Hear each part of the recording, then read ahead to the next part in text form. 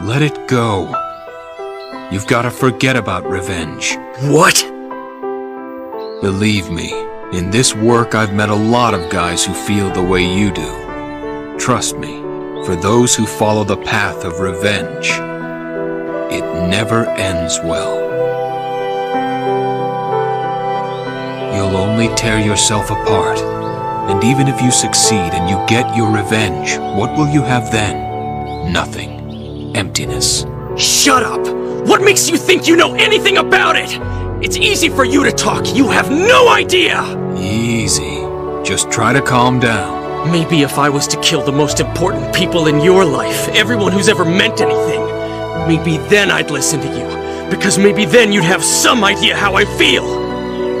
Hmm, it's an interesting theory, but I'm afraid you're a little late to put it to the test. Everyone you're talking about has already been killed.